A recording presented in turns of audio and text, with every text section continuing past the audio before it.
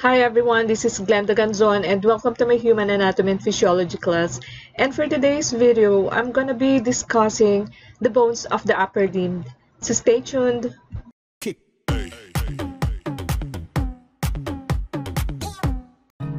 The upper limb is divided into three regions, and this consists of the arm located between the shoulder and the elbow joints, the forearm, which is between the elbow and the wrist joints, and the hand, which is located distal to the wrist. Uh, there are 30 bones in each upper limb. The humerus is the single bone of the upper arm, and the ulna, which is located medially, and the radius laterally are the paired bones of the forearm. The base of the hand contains eight bones and each called a carpal bone and the palm of the hand is formed by five bones, each called a metacarpal bone. The fingers and thumb contain a total of 14 bones and each of which is a phalanx bone of the hand. The humerus is the single bone of the arm region. At its proximal end, is the head of the humerus. This is the large, round, smooth region that faces medially. The head articulates with the glenoid cavity of the scapula to form the glenohumeral or what we call as the shoulder joint. The margin of the smooth area of the head is the anatomical neck of the humerus. Located on the lateral side of the proximal humerus is an expanded bony area called the greater tubercle. The smaller, lesser tubercle of the humerus is found on the anterior aspect of the humerus.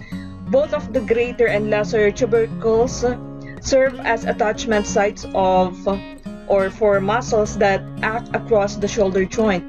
Passing between the greater and lesser tubercles is the narrow intertubercular groove or what we call as the sulcus, which is also known as the bicipital groove because it provides passage for a tendon of the biceps brachii muscle and the surgical neck is located at the base of the expanded proximal end of the humerus.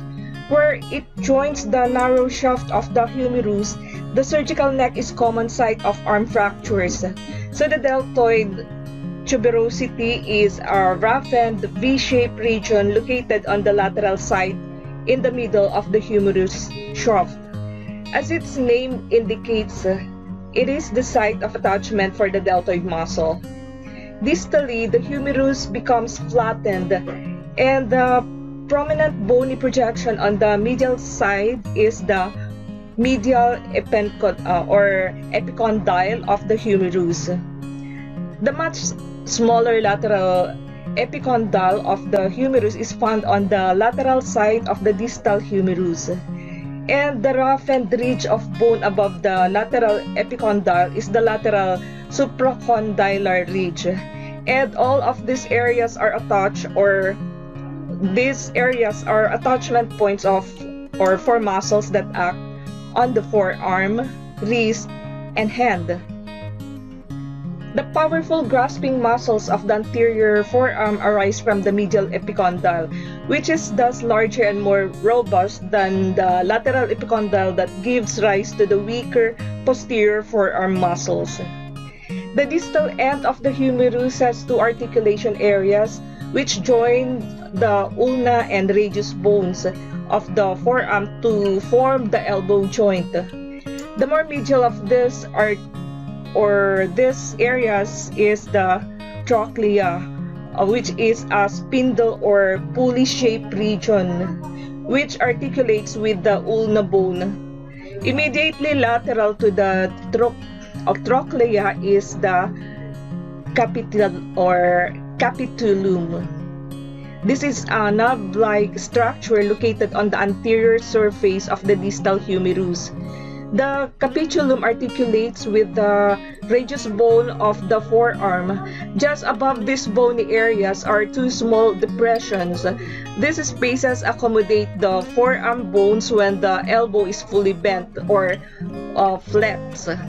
Superior to the trochlea is the coronoid fossa, which receives the coronoid process of the ulna, and above the capitulum is the radial fossa, which receives the head of the radius when the elbow is flexed. And similarly, the posterior humerus has the olecranon fossa, which is a larger depression that receives the olecranon process of the ulna when the forearm is fully extended. The ulna is the medial bone of the forearm. It also runs parallel to the radius, which is the lateral bone of the forearm. The proximal end of the ulna resembles a crescent wrench with its large C-shaped trochlear notch. This region articulates with the trochlea of the humerus as part of the elbow joint. The inferior margin of the trochlear notch is formed by a prominent lip of bone called the coronoid process of the ulna. Just below this, on the anterior ulna, is a roughened area called the ulnar tuberosity. To the lateral side and slightly inferior to the trochlear notch is a small, smooth area called the radial notch of the ulna and this area is the site of articulation between the proximal radius and the ulna, forming the proximal radioulnar joint. The posterior and superior portion of the proximal ulna make up olecranon process which forms the bony tip of the elbow. More distal is the shaft of the ulna. The lateral side of the shaft forms a ridge called the interosseous border of the ulna. And this is the line of attachment for the interosseous membrane of the forearm. That is a sheet of dense connective tissue that unites the ulna and the radius bones. The small rounded area that form the distal end is the head of the ulna. Projecting from the posterior side of the ulnar head is the styloid process of the ulna. That is a short bony projection and this serves as an attachment point for the connective tissue structure that unites the distal ends of the ulna and radius. In the anatomical position with the elbow fully extended and the palms facing forward, the arm and the forearm do not form a straight line. Instead, the forearm deviates laterally by 5 to 15 degrees from the line of the arm, and this devi uh, deviation is called the carrying angle. And it allows the forearm and the hand to swing freely and to carry an object without hitting the hip. So the carrying angle is larger in females to accommodate their wider pelvis. On the other hand, the radius runs parallel to the ulna on the lateral or the thumb side of the forearm. The head of the radius is a disc-shaped structure that forms the proximal end. The small depression on the surface of the head articulates with the capitulum of the humerus as part of the elbow joint, whereas the smooth outer margin of the head articulates with the radial notch of the ulna at the proximal radioulnar joint. The neck of the radius is the narrowed region immediately below the expanded head. Inferior to this point on the medial side of the radial tuberosity, an oval shape, bony uh, protuberance that serves as a muscle attachment point. The shaft of the radius is slightly curved and has a small ridge along its medial side. And this ridge forms the interosseous border of the radius, which like the similar border of the ulna. And it is the line of attachment for the interosseous membrane that unites the two forearm bones. The distal end of the radius has a smooth surface for articulation with two carpal bones to form the radiocarpal joint or wrist joint. On the medial side of the distal radius is the ulnar notch of the radius and this allows the depression articulates the head of the ulna which together form the distal radioulnar joint. The lateral end of the radius has a pointed projection called the styloid process of the radius and this provides attachment for ligaments that support the lateral side of the wrist, uh, wrist joint. Compared to the styloid process of the ulna, the styloid process of the radius projects more distally, thereby limiting the range of movement for lateral deviations of the hand at the wrist joint. For the carpal bones, the wrist and base of the hand are formed by a series of eight small carpal bones. The carpal bones are arranged in two rows, forming a proximal row of four carpal bones and a distal row of four carpal bones.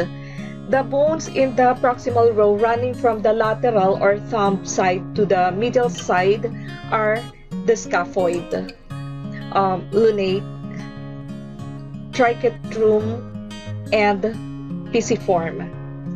The small rounded pisiform bone articulates with the anterior surface of the triquetrum bone, and the pisiform thus projects anteriorly where it forms the bony bump that can be felt at the medial base of your hand. The distal bones or lateral to the medial are the trapezo or trapezoid or in other words uh, that means table trapezoid which is resembles to a table. Capitate is uh, a head shape and hamate that is like a hook bone. So the hamate bone is characterized by a prominent bone extension on the anterior side called the hook of the hamate bone.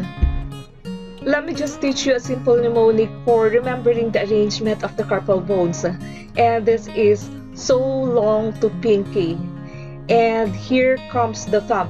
And this mnemonic starts on the lateral side and names the proximal bones from lateral to medial.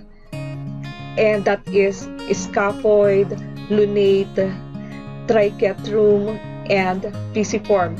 And then makes a U-turn to the name the distal bones from the medial to the lateral which are hamate, capitate, trapezoid, and trapezium, and thus it starts and finishes on the lateral side. So the carpal bones form the base of the hand, and this can be seen in the radiograph of or X-ray image of the hand that shows the relationship of the hand bones to the skin creases of the hand. And within the carpal bones, uh, the four proximal bones are united to each other by ligaments to form a unit. Only three of these bones, which are the scaphoid, lunate, and triquetrum, contribute to the radiocarpal joint. The scaphoid and the lunate bones articulate directly with the distal end of the radius, whereas the triquetrum bone articulates with the fibrocartilaginous pad that spans the radius and styloid process of the ulna. The distal end of the ulna does, does not directly articulate with any of the carpal bones. So the four distal carpal bones are also held together as a group by ligaments, and the proximal and distal rows of carpal bones articulate with each other to form the middle or the mid-carpal joint. Together, the radiocarpal and the mid-carpal joints are the responsible for all movements of the hand and wrist, and the distal carpal bones also articulate with the metacarpal bones of the hand. In the articulated hand, the carpal bones form a U-shaped grouping. A strong ligament called the flexor retinaculum spans the top of this U-shaped area to maintain this grouping of the carpal bones. The flexor retinaculum is attached laterally to the trapezoid and scaphoid bones and medially to the hamate and pisiform bones. Together, the carpal bones and the flexor retinaculum form the passageway called the carpal tunnel, with the carpal bones forming the walls and floor, and the flexor retinaculum forming the roof of this space. The tendons of nine muscles of the anterior forearm and an important nerve pass through this narrow tunnel to enter the hand. Overuse of the muscle tendons of wrist injury or wrist injury can produce inflammation and swelling within this space. So these procedures or or this produces compression of the nerve resulting in the carpal tunnel syndrome which is characterized by pain or numbness and muscle weakness in those areas of the hand supplied by this nerve. In addition, the palm of the hand contains five elongated metacarpal bones, and these bones lie between the carpal bones of the wrist and the bone of the fingers and thumb.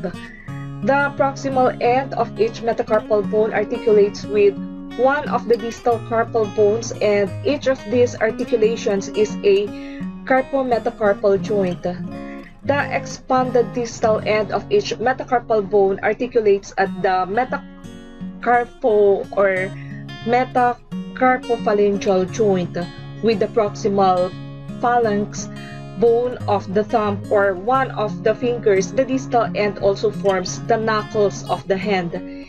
At the base of the fingers, the metacarpal bones are numbered 1 to 5 beginning at the thumb. So the first metacarpal bone at the base of the thumb is separated from the other metacarpal bones and this allows it a freedom of motion that is independent of the other metacarpal bones which is very or, or which is very important for thumb mobility and the remaining metacarpal bones are united together to form the palm of the hand. The second and third metacarpal bones are firmly anchored in the place and are immobile. However, the fourth and fifth metacarpal bones have limited anterior posterior mobility, which is a motion that is greater for the fifth bone. And this mobility is important during power gripping with the hand and anterior movement of these bones, particularly with the fifth metacarpal bone, increases the strength of contact for the medial hand during gripping actions. For the phalanx bones, the fingers and thumb contains 14 bones and each of which is called the phalanx or named after the ancient Greek phalanx which is a rectangular block soldiers. So the thumb which is pollex is digit number 1 and has two phalanges a proximal phalanx and a distal phalanx bone. Digits 2, which is the index finger, through 5, which is the little finger, have three phalanges each, and that is called the proximal, middle, and the distal phalanx bones. An interphalangeal joint is one of the articulation between adjacent phalanges of the digits. And that ends my discussion about the bones of the upper limb of the skeletal system. If you have any question, please write it in the comment section down below and I'll be glad to answer them all. And if you're still not subscribed to my channel, please do consider subscribing. Also hit the notification bell so that you'll be updated with my new videos. And if you like this video, please give it a thumbs up and share. So until my next video, thank you everyone for watching. Bye!